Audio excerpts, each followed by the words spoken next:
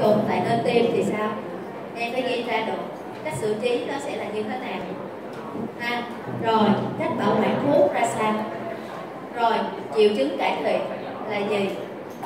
Ở đây rất là dễ, bệnh nhân cải thiện tình trạng khó thở, chẳng hạn ha, bệnh nhân tiểu đường, giảm phù.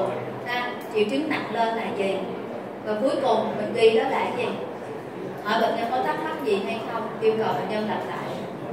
Ha, rồi ở trên đây tụi em có thể tham khảo bài của bạn. Ha rồi, chị giờ mình qua tiếp tiếp theo đi ha. Qua bài tiếp theo ha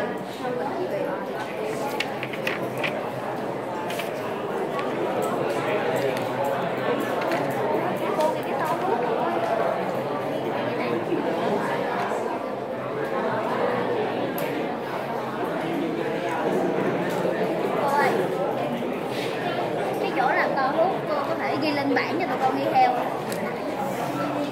Em cứ ghi y chang vậy thôi. Rồi khi nào mà ghi cái ghi, ghi á cái cái cách pha tim hay gì thì chị sẽ ghi ra cho tụi em trong bài. Nhiệm vụ tụi em là sắp xếp vậy thôi. À nhưng mà ví dụ như là viên ví dụ như ở đây captopril phải ghi ra 25 hay là 81 mg em phải ghi ra.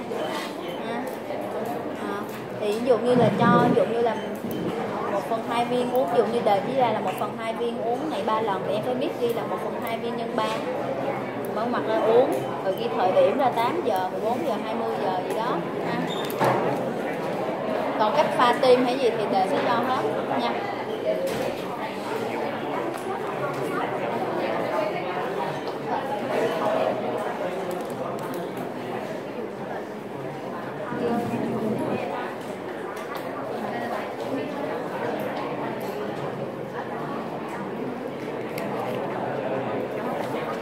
Chào cô và các bạn, sau đây cổng 14 2014 T đề trình bày về ca lâm số 9 tình huống như sau.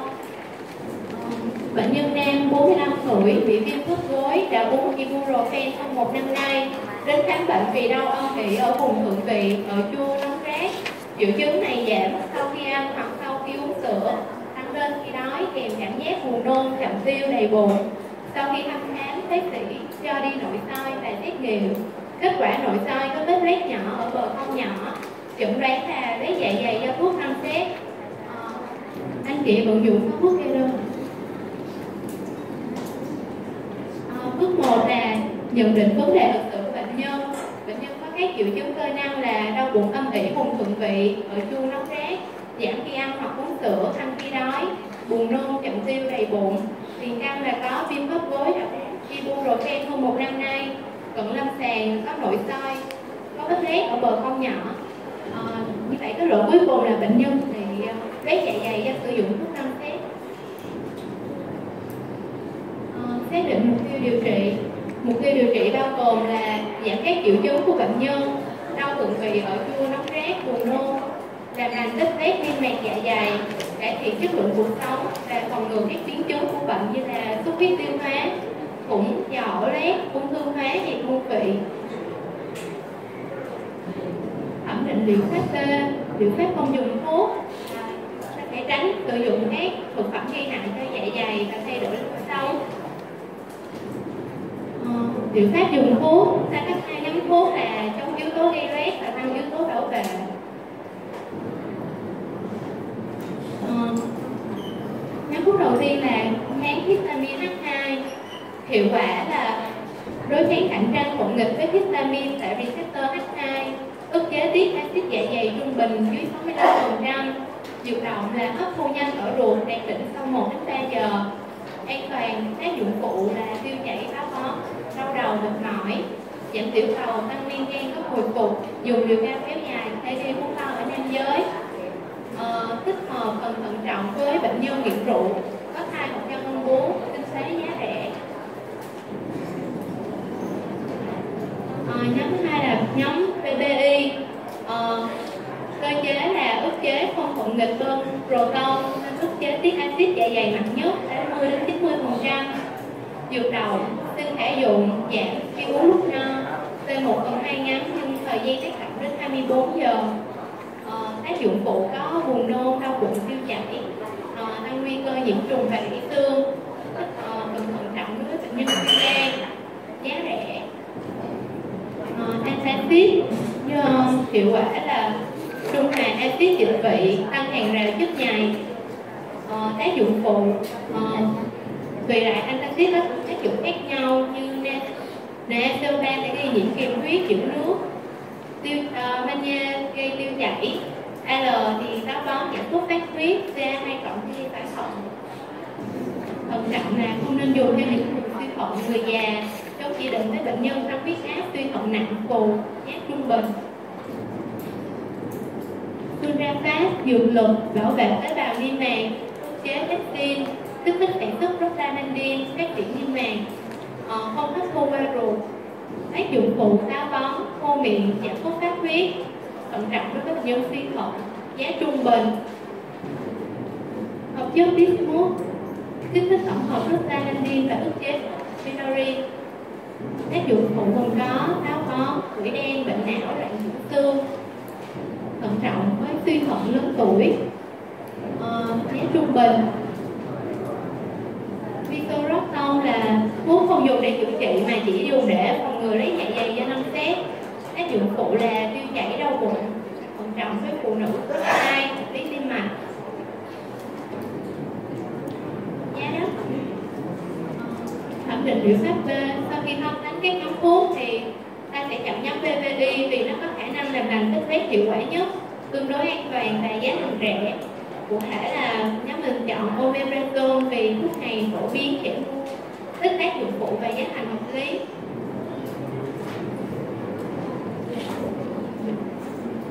Ờ, Đơn thuốc, ba thuốc là có omeprazole, hoạt chất omeprazole 20mg nhưng 30 viên nang ngày uống một lần, mỗi lần một viên vào buổi sáng trước bữa ăn 30 phút. Lời dặn là uống thuốc theo pha tái khám sau 30 ngày khi có dấu hiệu bất thường.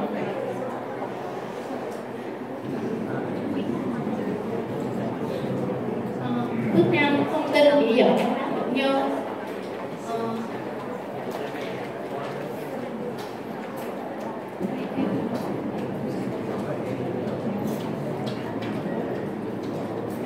thay đổi uh, bệnh nhân cần phải thay đổi lối sống như chế độ ăn là hạn chế các thức ăn chua cay nóng nhiều dầu mỡ ăn chậm nhai kỹ đúng bữa và không bỏ bữa ăn không nhịn đói không ăn quá no một lúc à, không nên hoạt động mạnh khi sau khi ăn còn uh, hạn chế các chất kích thích như rượu bia thuốc lá giữ tinh thần thoải mái tránh các stress căng thẳng tâm lý và có chế độ nghỉ ngơi làm việc hợp lý uh, thông tin bệnh nhân bị lấy dạ dày do tác dụng phụ của năm xét thuốc omeprazole sẽ giúp làm lành vết loét và cải thiện các triệu chứng thuốc sẽ khởi phát tác dụng sau 3 đến 4 ngày sử dụng và cần duy trì điều trị ít nhất là 4 tuần nếu không dùng thuốc tình trạng loét sẽ ngày càng trầm trọng và có thể đưa đến những biến chứng nguy hiểm như thủng dạ dày xuất huyết tiêu hóa chỉ dẫn dùng thuốc. Uh, uống một lần một ngày mỗi lần uống một viên uống trước khi ăn sáng khoảng 30 phút uống với nước nọc không uống với các thức uống khác như trà cà phê sữa nước ngọt. Uống nguyên viên không tháo vỏ đen để lấy bột bên trong uống. Không nên uống sau bữa ăn vì sẽ làm giảm hiệu quả của thuốc. Ờ, về tác dụng phụ thuốc tương đối an toàn nhưng vẫn có một số tác dụng phụ như là nhức đầu chóng mặt rồi buồn buồn nôn đau bụng táo bón mũi ban ngứa à, đặc biệt là có tăng nguy cơ nhiễm trùng và gãy xương cảnh báo là phải dùng thuốc đủ liều và không được tự ý ngưng thuốc. À, không được tự ý tăng giảm liều. Khi thấy có bất thường hoặc các tác dụng phụ nghiêm trọng phải dừng thuốc ngay và đến tái khám hoặc đến cơ sở y tế gần nhất.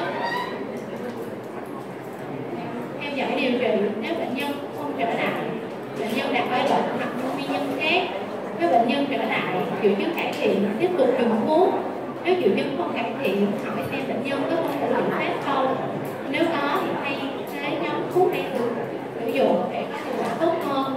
Nếu không hướng dẫn lại bệnh nhân và tác động yêu cầu bệnh nhân làm rõ nguyên nhân khiến bệnh nhân không phụ và tiếp tục gây ra thuốc phụ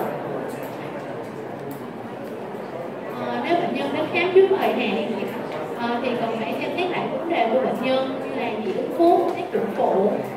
À, vì trường hợp có thể xem xét thay đổi thuốc hoặc xem lại chẩn đoán ban đầu các bạn lắng nghe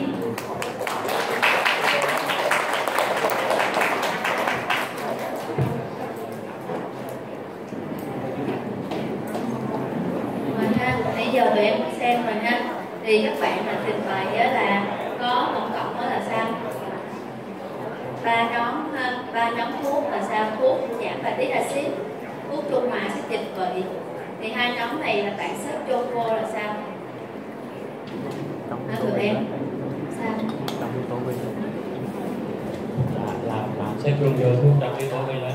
à, chống các yếu tố gây lét rồi còn ba thuốc còn lại là thuốc uh, thuốc uh, tăng yếu tố bảo vệ à, tăng cường yếu tố bảo vệ ha vậy thì bạn có hai nhóm ha chống các yếu tố gây lét và tăng cường các yếu tố bảo vệ ha thì trong cái thuốc là chống các yếu tố gây lét thì sao thì người ta lại chia thành hai nhóm đó là nhóm giảm bài tiết axit dịch vị và nhóm trung hòa axit dịch vị thì trong nhóm mà kháng bài tiết axit thì nó sẽ có thuốc là thuốc chế proton và thuốc kháng thực thể stamin H2 thì, thì mình sẽ đi từng thuốc một.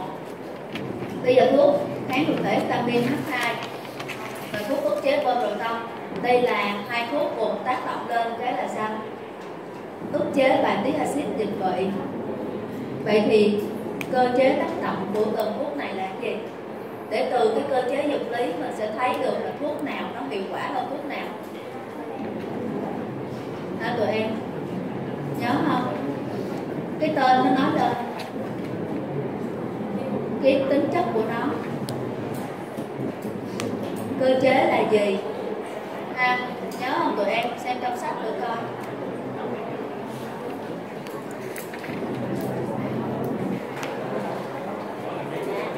hả tụi em có bạn nào biết không mời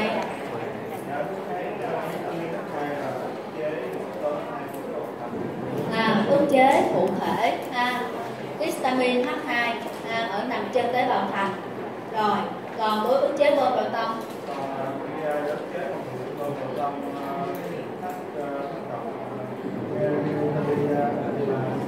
nó ức chế cái men H cộng K cộng ở T3 từ đó là nó ức chế cái bơm H cộng và K cộng ha nước chế bơm này vậy thì cái cụ thể stamin H2 tông này, nó nằm ở vị trí như thế nào đối với tế bào thạch và ở khâu nào trong quá trình bài tiết axit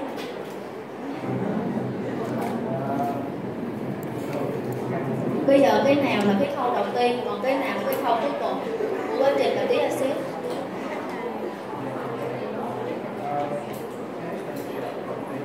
kháng histamine là khâu đầu tiên của quá trình bài tiết axit rồi vậy thì cái nó là khâu đầu tiên vậy còn những thụ thể nào và những chất nào cũng tham gia trong cái khâu đầu tiên này.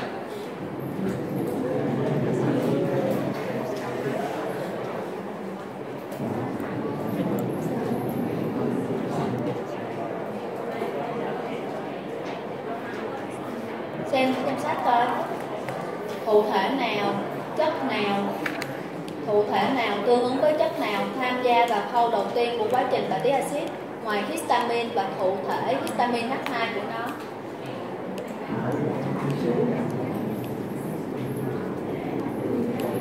Rồi rồi rồi, giờ bé lên đây đi để vẽ ha.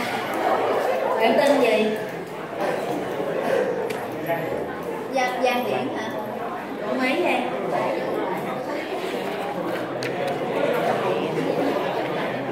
rồi có bạn nào biết nữa không rồi bạn gái rồi lên đi em vẽ vẽ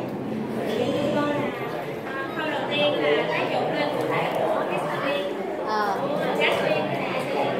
à, có nghĩa là sao? Có ba chất.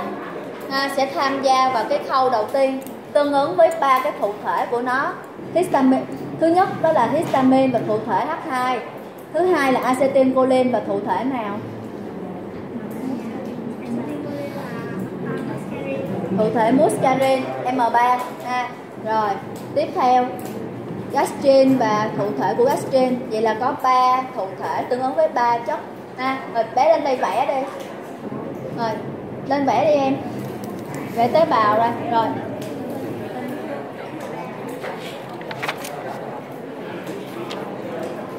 Rồi, lên đi cưng lên, em lên vẽ đi, chị hướng dẫn cho.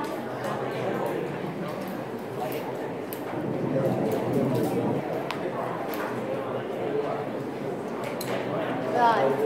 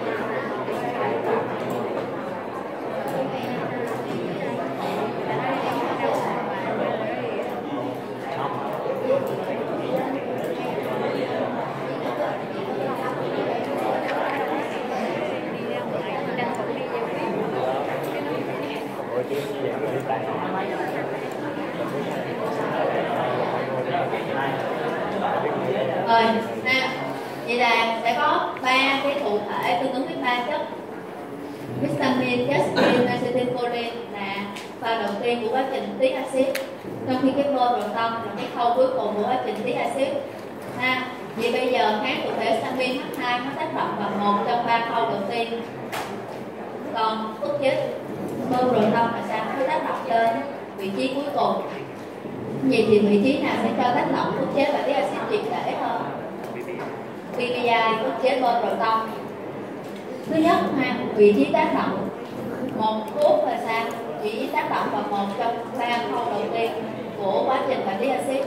Ha còn một thuốc thì sao tác động vào cái giai đoạn cuối cùng của quá trình và tiết axit. Ha vậy thì cái vị trí tác động khác nhau, nó cũng đã cho mình thấy được là sao? Ức chế bơm đầu tâm thứ nhất là nó có hiệu quả. Rồi bây giờ ở trên bảng ở trên slide của bạn nó còn nêu ra một điểm khiến cho mình thấy là sao? Ức chế bơm đầu tâm hiệu quả hơn là kháng thực thể stamin H2 80 90 điểm nào tụi em? 80 90 bé tên gì? Bé nãy giơ tay á. Không không. Em gái lúc nãy giơ tay á. Tên gì bé? Cho điểm. Rồi thôi anh trai tên ờ, có ai nữa không? Giơ tay không? Sao? Hả tụi em nhìn lên trên bảng này có ghi rất là kỹ luôn. Rồi mời em gái. Là tại nó tạo liên kết gì?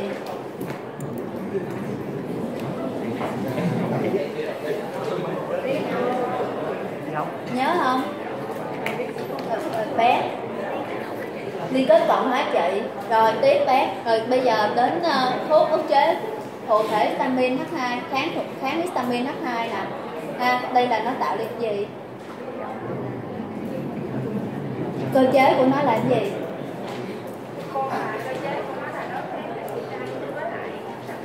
À, đối kháng cạnh tranh thuận nghịch với histamine tại thụ thể histamine H2 thì bây giờ mình nói đến cạnh tranh phòng nghịch, ý nó là sao? À có nghĩa nó phục hồi lại, có nghĩa là sao? Khi mà nồng độ histamine mà tăng lên, hoặc là sao? Nồng độ thuốc giảm xuống, đúng không? Một trong hai điều đó xảy ra thì thuốc sẽ mất tác dụng. Histamine nó sẽ gắn vào cụ thể của chính nó và nó sẽ kích thích bài tiết axit. Ha gì rồi ờ, chị cảm ơn em. Vậy là liên kết mà thuận nghịch thì là vậy là bây giờ nó tạo đối kháng cạnh tranh thuận nghịch thì là liên kết gì?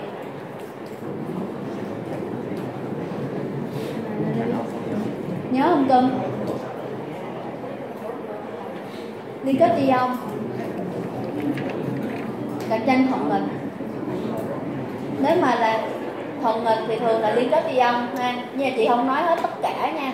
Thuận nghịch thì thường là liên kết đi âm còn không thuận nghịch thì thường là liên kết cộng hóa trị ha.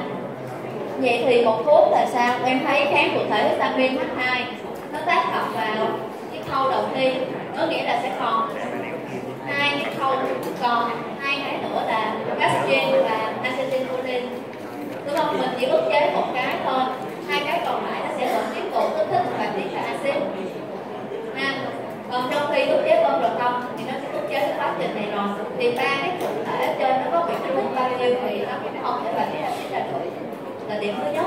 Điểm thứ hai đó là sao? Cái vitamin H2 nó là ức chế cạnh tranh mọi người.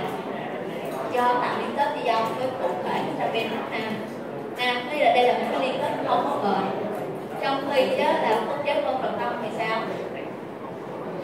Không thuận nghịch do tạo liên kết cộng phát triển một liên kết rất là bền à, một cái liên kết bền vững một cái không bền vững một cái là khâu cuối cùng của quá trình là đi axit một cái là sao?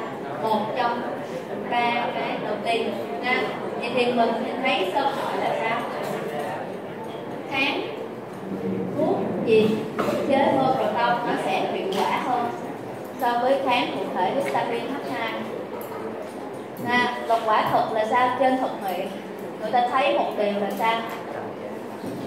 Đối với cùng một kích thước ổ loét ha thì mức chế băng rồi xong nó chỉ mất khoảng 4 tuần. Ha, thì nó sẽ 90 phần trăm trường hợp nó sẽ làm được cái ổ lấy. Còn đối với kháng thể viên H2 thì nó cần 6 đến 8 tuần. Nha. Rồi, thì đó là mình.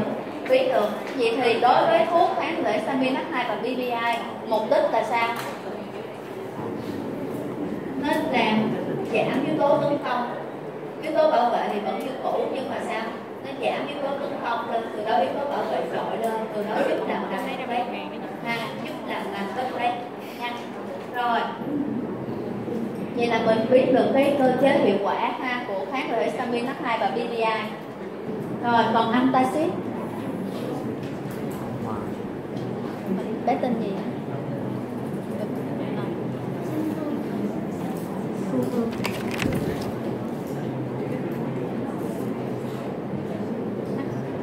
Đâu bé? Ở 13 13 hả? À, bé tên gì cơ? X 15 rồi sao em? Antacid cơ chế là gì? Mời mời, mời bé.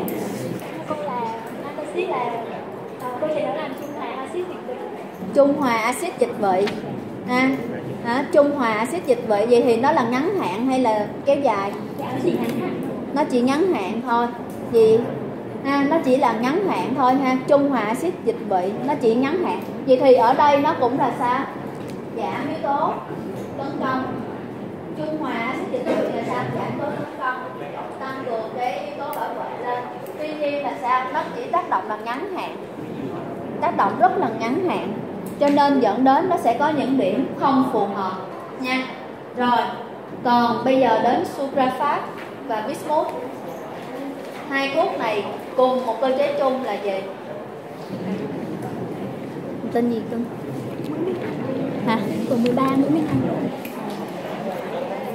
bismuth và suprafat cơ chế chung là gì? Rồi, mời bé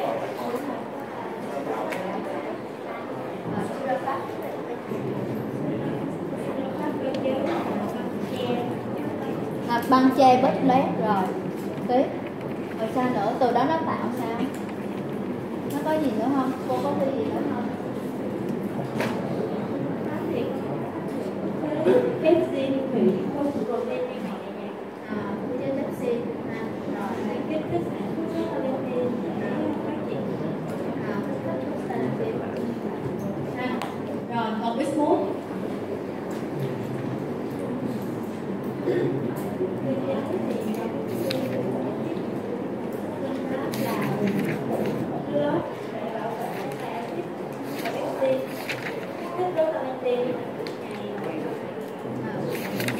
rồi có nghĩa là sao là bismuth lẫn suprafat khi mà em sử dụng thì nó sẽ có ái tính rất là cao đối với ổ loét ha nó sẽ đến bám vào ổ loét và người ta thấy thuận nghiệm mới là sao? Nghĩa là nó tập trung rất là nhiều vào ổ loét và còn những cái mô lành xung quanh thì nó bám rất là ít. Vì khi nó che phủ ổ loét như vậy thì ổ loét nó sẽ sao? Sẽ không có bị tấn công bởi những cái yếu tố như là axit dịch vị nữa. À, từ đó là tạo thuận lợi cho sự lành niêm mạc. À, nhưng mà bây giờ nó chỉ bám vào ổ loét thôi. Vậy thì một khi mà du độc ruột và những cái dịch khác thì nó sẽ cuốn trôi cái suprafat và bismuth đi. Gì thì nó sẽ dẫn đến là sao tác dụng của nó sẽ như thế nào tụi em cũng ngắn hạn. Giống như là antacid. Ha hết sức là ngắn hạn giống như là antacid. Ha rồi. Vị misorostol tên gì đấy thu vân. Tiếp. Misorostol cơ chế là gì nó bản chất nó là gì? Dẫn đến cơ chế của nó là gì? Rồi mời bé. Rồi rồi đầu tiên bản chất misorostol nó là cái gì? Nghe dòng đầu tiên. Dẫn xuất sao? À, dẫn xuất metin của prostaglandin. Rồi. Thì prostaglandin này là một chất sao? Giúp sao em? Nó phải kháng viêm không? Hay là nó là sao? Prostaglandin nó là chất không prostaglandin ở dạ dày ở thận cái vai trò đó là khác là cái gì? Em em xem trong sách đó. Nó sẽ sao? Khi mình đây là một dưỡng chất của prostaglandin vậy khi sử dụng thuốc này vào thì nó sẽ gây ra hiện tượng gì? Nên xem trong sách đó cưng trong sách có hết. Nó sao? Đây là một dưỡng chất của prostaglandin. Thì khi sử dụng nó sẽ gây ra cái gì? Rồi rồi dạ, cảm ơn bé ha. Thì bé tên gì? Tú con mấy cân? Rồi vậy bây giờ mình quay lại ha. Ở đây bệnh nhân á, là sử dụng NSAID vậy thì tại sao NSAID nó lại gây loét tại sao NSAID nó lại gây loét dạ dày ờ ờ rồi đây. Đây đây. Đây, dạ cô bởi vì anh thấy nó ức chế ờ, tạo thành rồi. Bây giờ rốt anh đi. Ức chế mà ức chế ờ, ức chế mấy cốc. Bây giờ lại không chọn lần ức chế mấy cốc. à, hai cốc luôn. À, ức chế hai cốc cốc gì cốc gì cốc một cốc hai. À, cyclooxygenase ha rồi. À, cốc 1, cốc 2 vậy ức chế cốc nào á thì mới là ức chế phản ứng viêm? Dạ ức chế cốc hai. Ức chế cốc 2 thì mới là ức chế phản ứng viêm. Rồi còn ức chế cốc nào thì nó sẽ gây ảnh hưởng trên dạ dày và thận?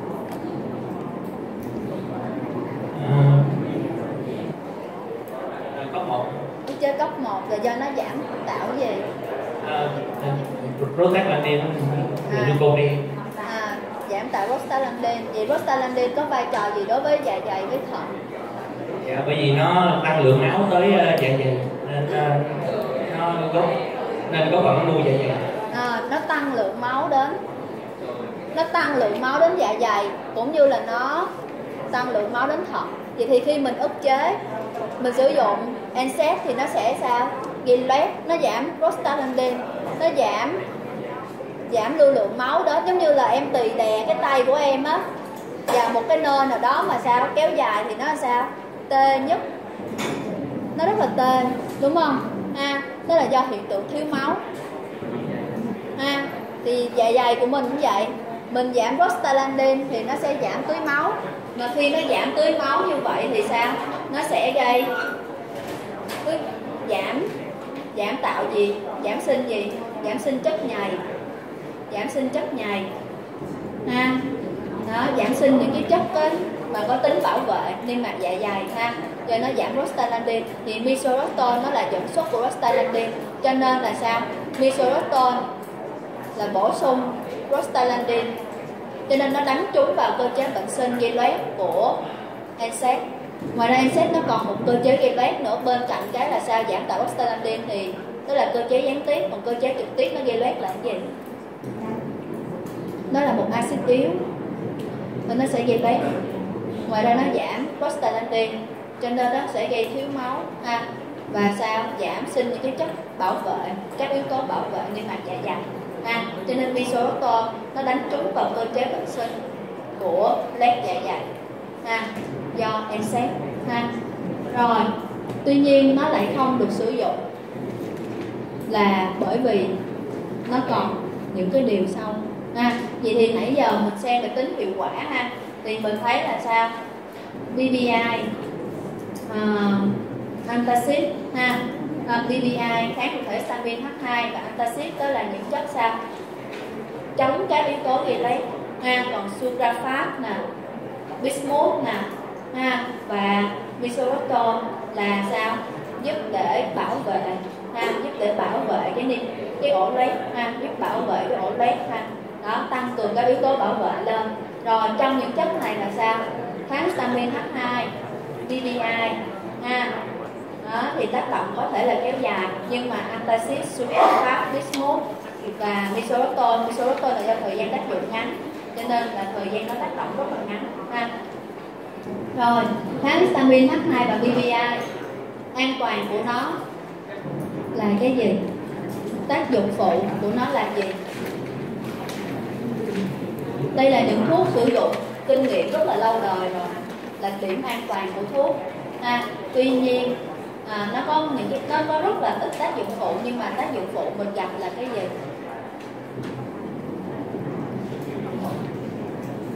Lúc nãy bạn nào có nghe trình bày sẽ thấy các bạn có nói một chi tiết mà bạn không có ghi trên bảng.